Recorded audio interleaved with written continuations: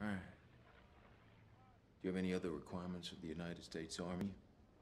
Is there anything else that we can do to ensure that you have a comfortable stay here with us? He doesn't want to work on Saturday, sir. Well, Saturdays, I'm a Seventh day Adventist, so Saturday is my Sabbath, so I'm not allowed to work then. I don't think that poses a problem, do you, Sergeant? We should simply ask the enemy not to invade on the Sabbath because Private Doss hears a prayer. All right. Well, now we got that clear. Now let me tell you my